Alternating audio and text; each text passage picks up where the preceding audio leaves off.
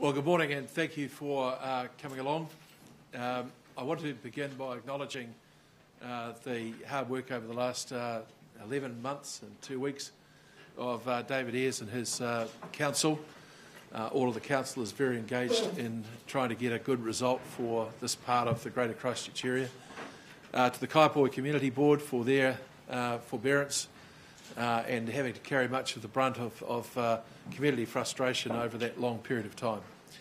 The history here is that after the September 4 earthquakes, uh, it was considered possible to remediate much of the land uh, by some of the underground piling work that was to go alongside waterways uh, in, in, in, an effort to prevent lateral spreading. The February 22nd earthquake uh, caused a reconsideration, but it was still thought after that time that uh, that type of approach would, would, be, uh, would be workable. And in one area, uh, the, the Waimakariri District Council was just weeks away from making a start uh, to, their, um, to that program. I did ask them after June the 13th to hold up on that program because uh, it was evident that there had been more damage to other parts of the city, uh, and the expectation was that there would be further damage uh, out here in Kaiapoi as well. Tonkin and Taylor have done uh, a magnificent job, really, given the size and scale of what's required, uh, to firstly come up with those remediation proposals, but then to uh, do further assessment that's allowed the government to make the uh, decision about an offer on properties that we'll announce later in this briefing. Uh, the um, long period of time that people have had to put up with uh, disruption uh, has been, I know, difficult for people, but was somewhat unavoidable. When you're talking about such large areas, I think it was appropriate that we did look to try and remediate land in the first instance, but that has clearly now become much more difficult. Uh, I have a number of slides that I'd like to take you through that I think will help indicate the level of work that Tonkin and Taylor have led over the last uh, short while. And I want to make it clear that their work has been in collaboration with uh, the Waimakariri District Council, uh, with a number of other agencies of government, plus various engineering consulting firms uh, as along the way. I need to say also that uh, it's fair to say that all land can be remediated, but there are huge costs involved in some of that remediation. When it comes to uh, the potential for people to reoccupy land for um, residential purposes, uh, there is a massive uh, uh, you'd say, gap between the work that might have to be done to, stable, to, to put in those uh, reliable foundations, to put in uh, infrastructure that could be relied upon, and to create the sort of civic, civil amenity that people could live comfortably with. It's not to say it couldn't be done, but it would take a long period of time and it would be enormously expensive. Today's announcement is about giving people an opportunity uh, to move forward more quickly, but also recognising the difficulty of remediation in these areas. So if we look at the uh, um, uh, uh, data that we've got here, firstly, the mapped land damage for Canterbury earthquake since September 4 uh, indicates this. And I, I note, Kate, uh, do you want to chime in if I um, start to become technically incorrect at any point? Please give me a big white wave. I don't want to, uh, get things wrong. But essentially, after September 4, these were the areas where uh, land damage, significant land damage was observed. You go to the next slide. Uh, this slide is showing uh, the damage that was assessed after, um, or, or, the property damage, I should say, that was looked at at that time. Um, I need to say, if you go back to that first slide, that this, this work was done in conjunction with GNS Science, uh, as I said before, the local councils, but also LINZ, I've got uh, LINZ and uh, New Zealand Aerial Mapping, and uh, then a number of consultancies from an international basis. The next map shows the land damage uh, and it indicates lateral spreading. That's land that moves uh, in a particular direction, generally towards uh, waterways where you get cracks opening up, uh, and it also indicates where there's been liquefaction. Liquefaction is a process that occurs under the crust uh, and the sand ejection comes up through the cracks in that crust, uh, and that's what most of us refer to as liquefaction. It also shows the areas of that observed activity in both uh, Kairaki and Pines Beach as well. The next slide uh, is going to show you the extent of the infra infrastructure damage that was reported by Waimakariri District. You can see there the various colourings. Yellow illustrates major ground cracks of more than uh, 50 millimetres wide. Um, it's, uh, sorry? That's the next one? Sorry, which one are we on? Well, we're on the infrastructure stuff. Oh, sorry, okay. That's right, my apologies. It shows um, the wastewater network damage. Uh, it shows uh, blue is where there is no observed damage to sewer pipe network, uh, but you'll see that orange is where there are occasional breaks in sewer pipe. Uh, the red is where there is sewer pipe that needs to be completely rebuilt. And if you look at in your head, put in uh, the pattern that you see there, be helpful in understanding where this is all heading.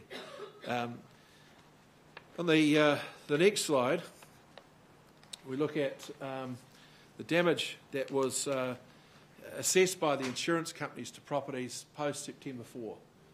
And there is a range of colours in there from uh, the yellow, the red, and the black. And I, I have to concede that when we're trying to make things simple, you end up with colour codes that become enormously complex because they all mean different things. But in essence, uh, the black dots show uh, buildings that were beyond economic repair. The white and yellow dots indicate uh, buildings with significant uh, damage. Uh, the reds are sort of in between significant damage and total repair. What you can see there is a lot of damage to property. The next slide is based on the same analysis post uh, the uh, event on the February 22nd. And you'll note that the predominance there is black and red with uh, some yellow. And the insurers tell us that most of the red tracks to the uh, full economic loss. So if you overlay that with the um, information about the infrastructure, you can see the size of the problem involved in a rebuild if the land were remediated. Um, the, uh, the next slide um, starts to talk about the change in the levels to the ground. Uh, it talks about the um, uh, severity of the liquefaction damage and the lateral spreading and cracking around those waterways, much of which many in this room will already know about. This is an interesting uh, sort of uh, position. If you look at the colour coding up the side, and these maps are available to you, it shows the movement and the height of the land over a period of time. Um, and uh, it, is, it is quite significant. If you lay over the top of that one more time, so I think we go to the next slide, Nick. This is the uh, using uh, LIDAR information, which is uh, light direction and range, shot from the sky, uh, able to indicate the movement up and down of the land. And those two shots show you 2003 versus uh, where we are today. And you can see from that that there are some areas that have uh, dropped quite significantly. The next slide. Uh, we'll just, um, well, I think, yeah, I think, uh, just want to, before we go on to that next slide, just indicate a couple of things. So one of the things that you have to have to support uh, residential occupation is thick enough crust uh, between the liquefiable materials um, below the ground, uh, effectively the water table and the, the surface. Is that a correct definition, Kate? I think rough enough. Thank you. Um, so the, the, the, point is that in the, all of the areas that we're talking about today, uh, the crust is severely compromised. If you're looking at um, Kairaki Beach, which we've already made a decision on, uh, the range and the depth of the crust there is from 300 millimetres uh, to around 900 millimetres as, as, in the vast bulk of that area. When it comes to Pines Beach, uh, you've got two parts there. So the, the part that you will be, some of you will be familiar with, where you drive up into a higher plane, that's all fine. But on that lower level, uh, the crust is estimated there to be somewhere between uh, 200 millimetres uh, and 1.1 metre. Um, in Kaiapoi West, where uh, some work is going to continue, there are crust issues there. Uh, but in Kaiapoi South, uh, the, um, the, the problem there is that the, you've got not only the lateral spreading but also that thinning of the crust. Uh, so the, the average there comes just up to uh, 1.5 metres, which is the minimum that you would you would require uh, for the for the uh, the building of a property. But 1.5 metres is not very deep. It's about from here to the floor. It's quite quite uh, a small amount of of, of crust to be carrying a, a property. the um, areas in Kaiapoi North are much more compromised the crust there ranging from uh, about uh, 400 millimetres to 700 millimetres on average, with a maximum available there of about a metre. So part of the problem here is, and what that, uh, uh, what that diagram there is showing is that the, the overall drop for the area that we're talking about is round about the height of an A4, uh, an A4 paper, piece of paper, just completely dropped down, and that's much bigger in some parts. So, what the government has decided to do is to let people move on. It would have been, um, it would have been necessary to remove everybody off for remediation uh, in the first place. So, if we go to that next map, Nick, the area that's outlined in bold uh, orange, uh, sorry, old bold black there, uh, was uh, area were areas that were orange. Uh, so, if I can, the numbers specifically are in your packs. But if I can just generally refer to broader numbers, the area to the north of Christchurch, north of, uh, of Kaiapoi, north of uh, Roger Poistot.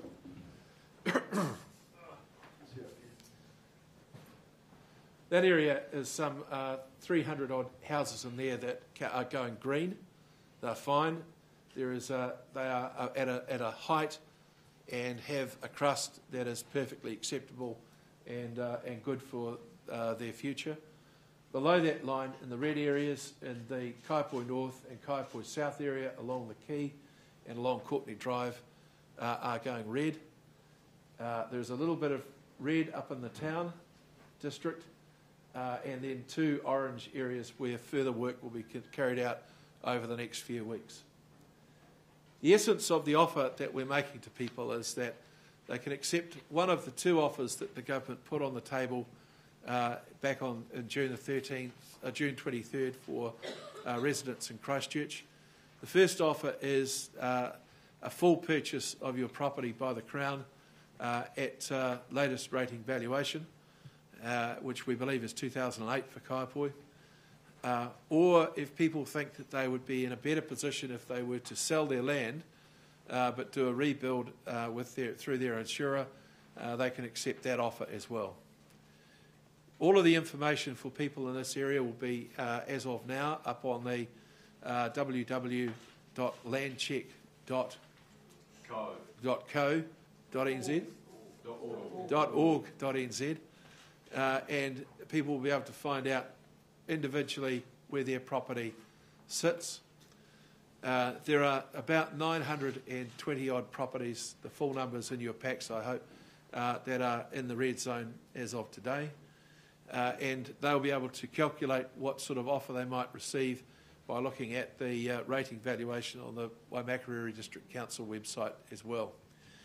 It's our hope that, uh, weather permitting, or everybody in these areas will get a uh, letter from the uh, Crown uh, tomorrow from CERA.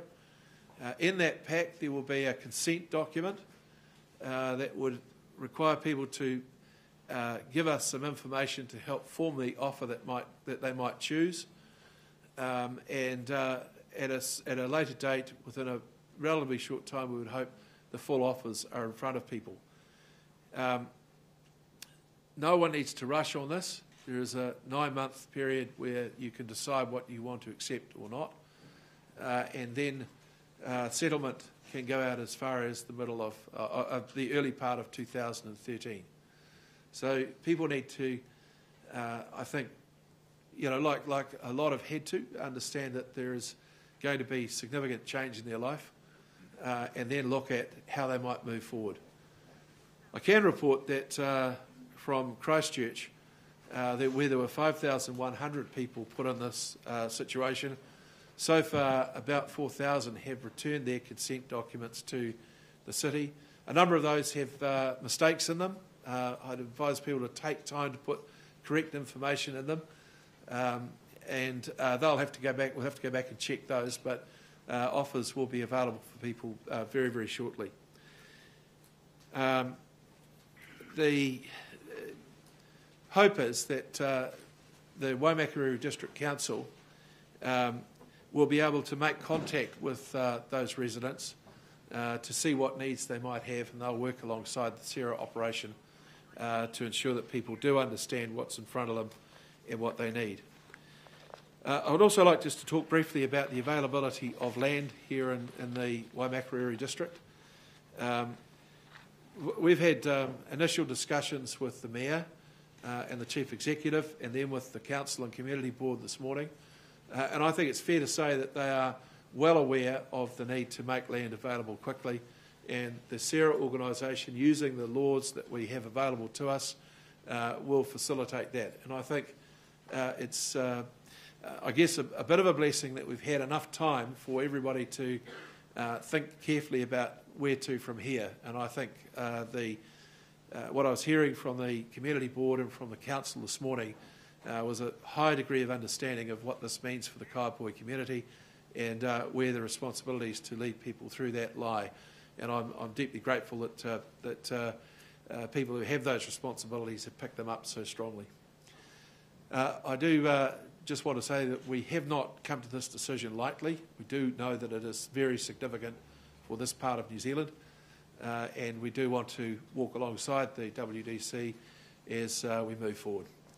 So with those comments, I'm more than happy to take questions. Yeah. I noticed that the lines and the figures talked about um, here in this, um, this plan are pretty much exactly the same as what was reported about a month ago. Um, described as uh, pure speculation at the time. Can you explain why that is?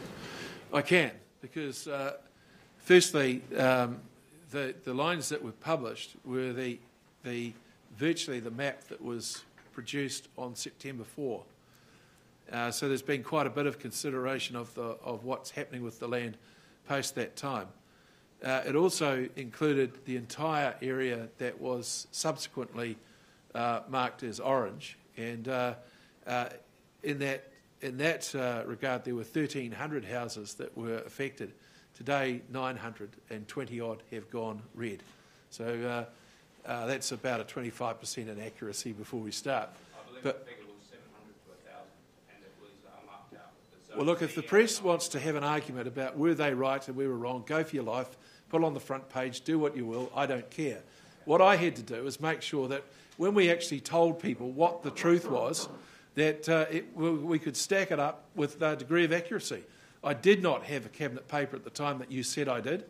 Uh, I did not have the information that you claimed I had. You were wrong. Now, um, I don't think it was helpful that you did that. Um, I hope that we can get past these little sort of uh, disagreements because they're petty and unimportant squabbles when it comes to dealing with people's lives. And uh, I just want a degree of accuracy in reporting. That's all.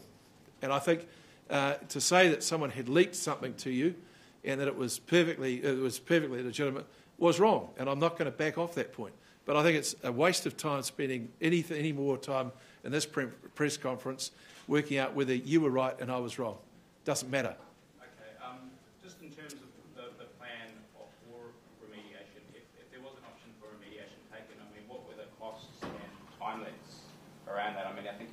Seven years for uh, the red zones in Christchurch.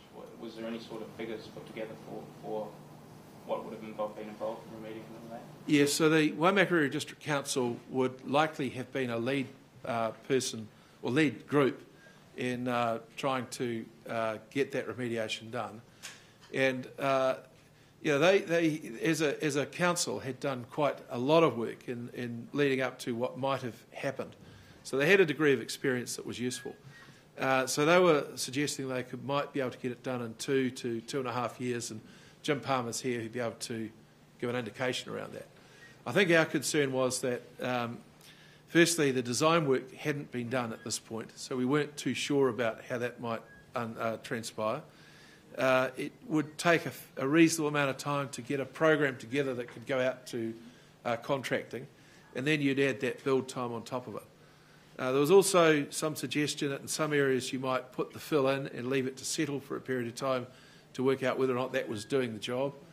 Uh, all it meant was a lot of uncertainty for a long period of time for a lot of people, um, and uh, the value in properties also potentially uh, significantly stripped out. So we felt, uh, on balance, this was a better approach. Well, was, was there a specific costing done around what, how much it would cost for a bit of land? Uh, there were some costings provided, uh, but those costings had large plus or minuses on them. Uh, and we've, we've got one uh, area that we've uh, started some perimeter treatment in where the experience would be that it's more on the plus side than the minus side. Um, and so while, while that was helpful in trying to work out what an eventual cost to the Crown might be, um, it wasn't the absolute decider. It's a range of things that have been uh, added into the mix for this decision.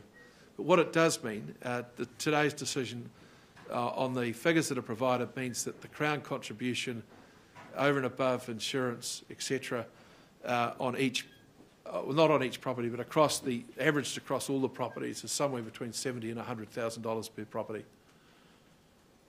Can you give any indication of what the difference between the government valuation, which may be what people get for their property, is, and the likely price of a replacement house in one of these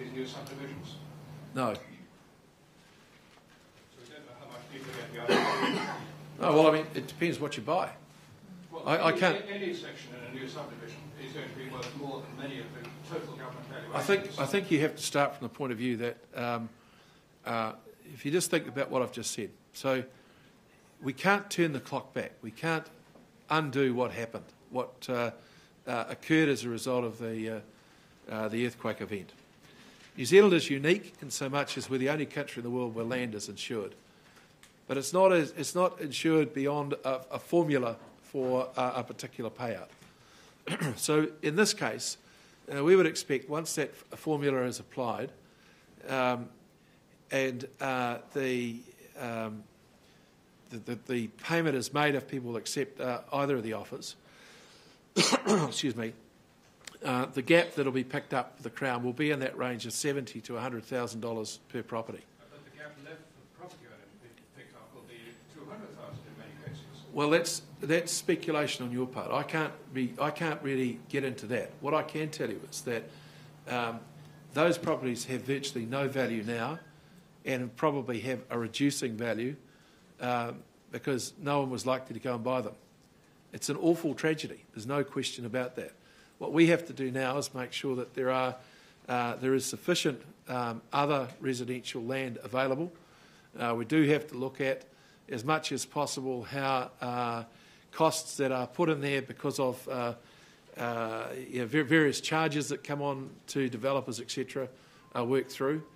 Um, and you know, I think also we need to be recognise that if we want to go into certain areas, because new land uh, being made available for subdivision will have to have uh, very high seismic loading attached to it. Uh, we probably need to go to land that has that seismic resistance in the first place, uh, making it a, a, cheaper exercise for subdivision. If you take, um, and I, I really shouldn't stray into this area, but if you take somewhere like Pegasus, they did significant geotechnical work to strengthen those sections, and they have performed very, very well. Um, in other parts, had there been a subdivision, other places been a subdivision, that work may not have been necessary, taking a, an awful lot of cost out. So those are the sort of things that are ahead of us, I think. Do you have any ideas on where subdivisions might be located? Obviously, you're giving talks of the local mayor. Do you have any sort of ideas around Kaiapoi where you'd like to hurry things along? Well, look, I, I think um, I, I don't want to be in a position of uh, telling the Waimakariri District Council what they should be doing. That's not, not our role. However, I think we do have a map on there, Nick, do we? Is it on the screen? Um, I was told it was, but have a look for it if you can. There we go. Okay. So, uh, magically, um, of course, we've all thought about this. Um, and um, uh, there are areas there that, that you'll see a, a map in your packs that'll give you the, the, um, what those colours mean. There's Rangiora there. But I think it's Rangiora there, Kaiapoi. there, Kaiapoi here. Yeah. and I think what, it, what it's indicating is potential as well as some existing.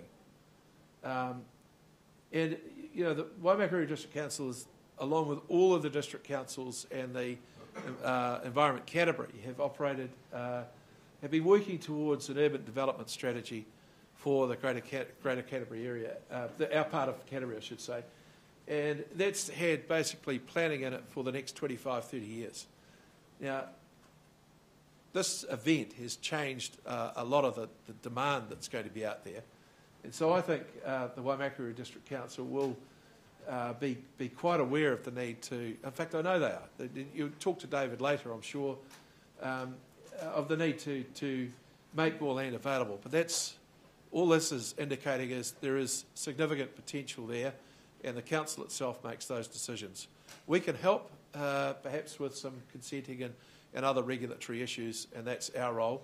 Um, but it's this district that makes its, uh, determines its future. Will this be quite a windfall for property owners in the areas that have? Uh, look, um, As a whole, that- you know, look, I, I think one of the one of the uh, perverse things about a disaster is that there will be always some who do very well out of it. No question about that. Yeah. Those people who are uh, in now reclassified as being in the green zone, I don't have the pack yet, so I don't. Okay. There are all the concerns that they'll be left in a wasteland given that sort of big chunk of their community is going to go. What can they expect to see in the coming years? Well, look, I think um, I'm sure that uh, uh, David Ayers or Jim Palmer might want to make a comment about that. Uh, but from our perspective, um, uh, we, we have made a commitment to work with the Waimakariri District Council on uh, some management plans for what happens in those areas in the interim as we move towards a decision about uh, what, it, what will be the remediated state of that land uh, going forward.